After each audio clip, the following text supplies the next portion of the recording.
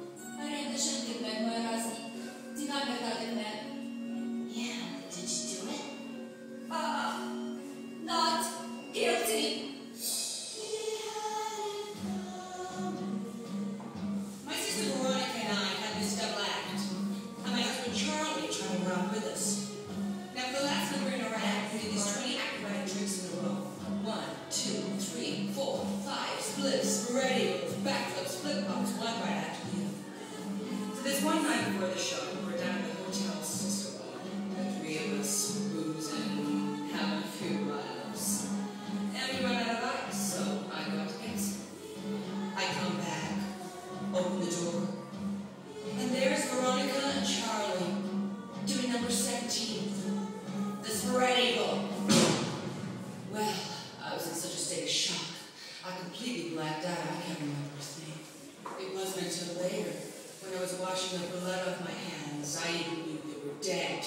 Yeah!